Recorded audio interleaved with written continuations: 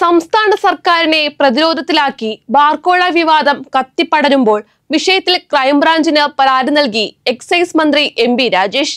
ബാർക്കോഴ വിവാദത്തിന് പിന്നിലെ ഗൂഢാലോചന അന്വേഷിക്കണമെന്നാണ് പരാതിയിൽ എം ബി രാജേഷ് ആവശ്യപ്പെട്ടിരിക്കുന്നത്. മന്ത്രിയുടെ പരാതി crime branch A D G പിക്ക് കൈമാറി.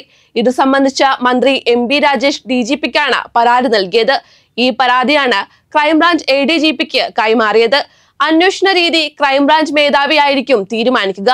വസ്തുതാവിരുദ്ധമായ കാര്യങ്ങൾ പ്രചരിപ്പിക്കുന്നുവെന്നും പണപ്പിരിവ് ആരോപണത്തിന് പിന്നിലെ ഗൂഢാലോചന അന്വേഷിക്കണമെന്നുമാണ് D G P Sheikh Darvesh സാഹിബിന് നൽകിയ കത്തിൽ സംസ്ഥാന എക്സൈസ് മന്ത്രി എം രാജേഷ് ആവശ്യപ്പെട്ടിരിക്കുന്നത്. പ്രചരിക്കുന്ന ഓഡിയോ സന്ദേശത്തെക്കുറിച്ചും അന്വേഷിക്കണമെന്നും ആവശ്യപ്പെട്ടിട്ടുണ്ട്.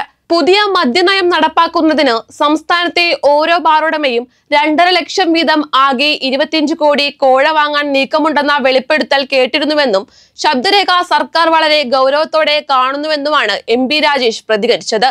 മദ്യനയത്തിന്റെ പ്രാരംഭ ചർച്ചകൾ പോലും ആയിട്ടില്ലെന്നും ഗൂഢാലോചന ഉണ്ടായോ എന്ന് പരിശോധിക്കട്ടെ എന്നുമാണ് മന്ത്രി പറഞ്ഞത്.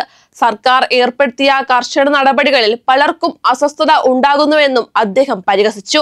പുറത്തുവന്ന ശബ്ദരേഖയുടെ ഉടമയുടെ ബാറിലും പരിശോധന നടന്നിട്ടുണ്ടോ എന്നും അറിയില്ല.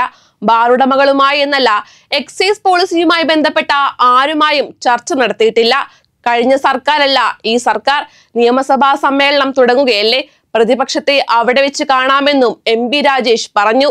പ്രതിപക്ഷം രാജി ആവശ്യപ്പെട്ടിരുന്നല്ലോ എന്ന ചോദ്യത്തിന് എന്തേ ആവശ്യപ്പെടാത്തതെന്ന് താൻ ചിന്തിക്കുകയായിരുന്നുവെന്നും എം രാജേഷ് മറുപടി നൽകി.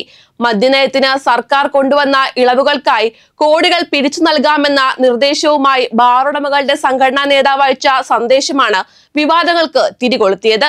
Federation of Kerala hotel association Idukki ജില്ലാ പ്രസിഡന്റ് അനിമോൻ ജില്ലയിലെ അംഗങ്ങൾക്ക് അയച്ച ശബ്ദരേഖയാണ് പുറത്തായത്. ഡ്രൈഡേ ഒഴിവാക്കൽ ബാറുകളുടെ സമയം കൂട്ടലടക്കം ബാറുടമകളുടെ ആവശ്യം പരിഗണിച്ചുള്ള പുതിയ മദ്യനയത്തിൽ തിരക്കിട്ട് ചർച്ചകൾ സർക്കാർ നടത്തുന്നതിനിടയിലാണ് കോഴ ആരോപണം ഉയരുന്നത്. ഇലക്ഷൻ കഴിഞ്ഞാൽ ഉടനെ പുതിയ പോളിസി വരുമെന്നും വൻ ഇളവ് ലഭിക്കണമെങ്കിൽ തിരിച്ചു സഹായിക്കണമെന്നുമാണ് ബാറുടമ സംഘടനാ നേതാവ് ശബ്ദരേഖയിൽ പറയുന്നത്. സംഘടനയുടെ എക്സിക്യൂട്ടീവ് യോഗം കഴിഞ്ഞ ദിവസം കൊച്ചിയിൽ ചേർന്നിരുന്നു. യോഗ സ്ഥലത്ത് നിന്നാണ് ഈ സന്ദേശം അയക്കുന്നതെന്ന് സംഘടനാ നേതാവ് ശബ്ദ സന്ദേശത്തിൽ പറയുന്നുണ്ട്. ഇടുക്കിയിൽ സംഘടനയിൽ അംഗങ്ങളായ ബാറുടമകളുടെ വാട്സപ്പ് ഗ്രൂപ്പിലാണ് ഈ ശബ്ദ സന്ദേശം അയച്ചിരുന്നത്. ശബ്ദ സന്ദേശത്തെക്കുറിച്ച് ചോദിക്കാൻ വിളിച്ചപ്പോൾ അനിമോൻ ഒഴിഞ്ഞു മാറുകയാണ് ചെയ്തത്. യോഗം നടന്നുവെന്ന് സമ്മതിച്ച hotel association president V Sunilkumar പണപ്പിരിവിന് ഒരു നിർദ്ദേശവും നൽകിയിട്ടില്ലെന്നാണ് പ്രതികരിച്ചത്.